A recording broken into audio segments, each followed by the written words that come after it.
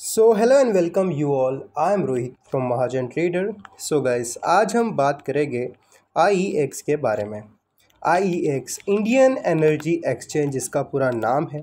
और गाइस यहाँ पर इस वीडियो में आपको टोटल फुल अपडेट मिलने वाली है। एज अ लॉन्ग टर्म के बेसिस पे आपको क्या करना चाहिए? और सोमवार के दिन क्या आप प्लान कर रहे हो इसमें ट्रेड का? तो लेवल्स आपके लिए मैं इस वीडियो में बताने वाला हूँ। तो सोमवार को ज़रा संभल कर रहना। तो क्यों रहना है संभल कर? वो भी मैं इस वीडियो में बताने वाला हूँ। और गाइस ख़रीदने से पहले वीडियो को पूरा देखो। शेयर होल्डर्स गलती मत करना। तो क्या गलती नहीं करना है? वो भी आज इस वीडियो में आपको पता चलने वाला है। तो गैस यहाँ पर वीडियो को स्टार्ट करूँ।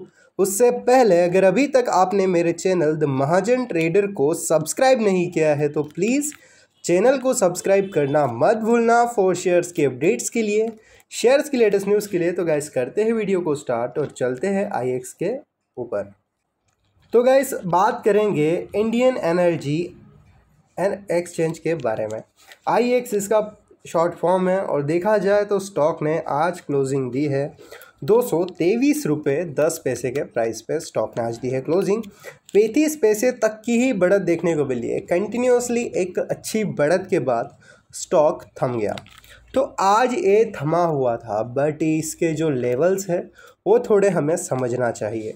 तो गैस चलते हैं मंडे के लेवल्स पे। आज ज़ीरो पॉइंट सोलह प्रतिशत की तेज़ी रही है। तो पहले बात करेंगे मंडे के लेवल्स के बारे में। तो गैस यहाँ पर मैं आ गया हूँ। मंडे के दिन आपको क्या करना चाहिए? तो यहाँ पर एक सिंपल सी स्ट्रैटेजी थी सिंपल सा एनालिसिस था। यहाँ पर जब भी काफ़ी स्टॉक्स में आपने देखा होगा मॉर्निंग में स्टॉक बढ़ तो जाते हैं बट फिर से वो गिरते, गिरने लग जाते हैं। तो इसका कारण क्या है? इसका मेन रीज़न सीधा सा है गाइस देख सकते हो, यहाँ से स्टॉक ए में बात कर रहा हूँ, परसों के दिन की। यहाँ से स्टॉक एक जंप लगाया फिर स्टॉक नीचे आया, फिर साइड वेज चलने लग गया। आज मॉर्निंग में क्या हुआ? आज मॉर्निंग में आप देखो तो स्टॉक ने सीधा गैप अप ओपनिंग यहाँ पर आज हुई है और यहाँ से सीधा ऊपर गया, फिर ऊपर गया और यहाँ से नीचे आया। तो गैप फिल इसने कर दिया है।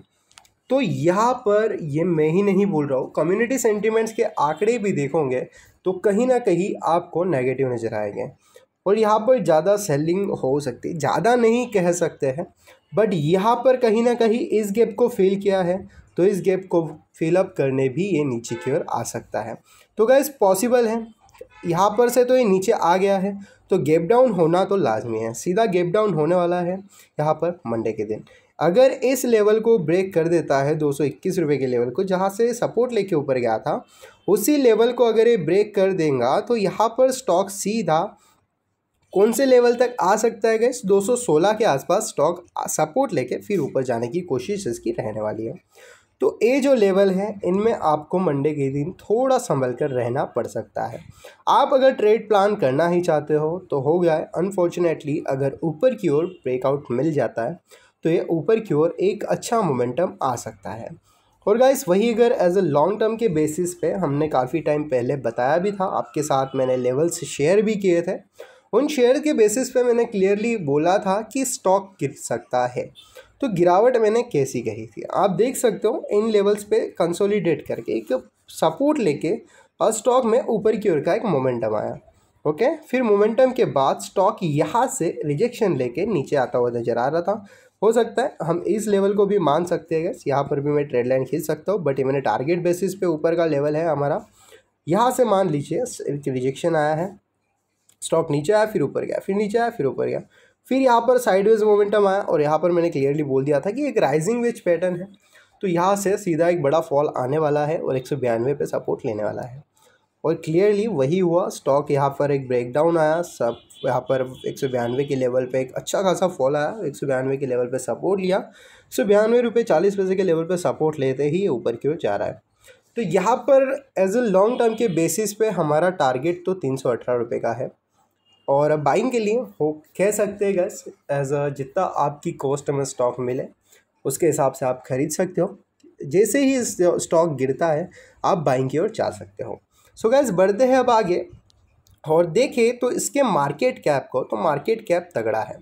उन्नीस पॉइंट निन्यानवे हज़ार करोड़ का मार्केट कैप है, जो इसे एक मिड कैप स्टॉक की कैटेगरी में ला के रखता है। 70.81 का स्टॉक का पी रेशियो है। डिविडेंड स्टॉक देता है 0.67 परसेंट का।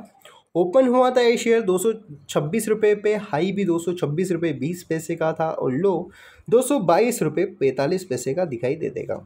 वही अगर देखोगे तो फिफ्टी टू एक्स का हाई क्या कहता है? तीन सौ अठारह रुपये उनसठ पैसे का, जैसे कि मैंने बोला, टारगेट है हमारा ऊपर की ओर का। एक सौ सात रुपये बावन पैसे का लो है। प्राइस परफॉर्मेंस में अपसाइड डाउन से इस वीक का तो माइनस में ही आपको दिखेगा, आप देख सकते हो। Zero point sixty two percent minus में है, हालाँकि वन मंथ का यहाँ पर प्लस में है। यहाँ पर अगर वॉल्यूम्स देखें तो वॉल्यूम्स आज घटे हैं, फिफ्टी नाइन लाख के आसपास का ट्रेड वैल्यू था और ट्वेंटी थ्री लाख का ही कॉम्बिनेट डिलीवरी है। कम्युनिटी सेंटीमेंट्स के आंकड़ों में यहाँ पर देख सकते हो गैस सेलिंग के लिए थर्टी टू परसेंट यहाँ पर रिकमेंडेशंस है और देखा जाए बाइंग के लिए सिक्सटी फोर की रिकमेंडेशन है और फोर परसेंट होल्डिंग के लिए। तो यहाँ पर थोड़ा संभल के रहना पड़ना। तो गैस यहाँ पर आई एक्स को लेकर काफ़ी कुछ बातें हमने कर ली है और आई होप आपको ये वीडियो अच्छा लगा होगा। वीडियो अच्छा लगा होगा तो प्लीज़ वीडियो को लाइक करो, चैनल को सब्सक्राइब करो। Thank you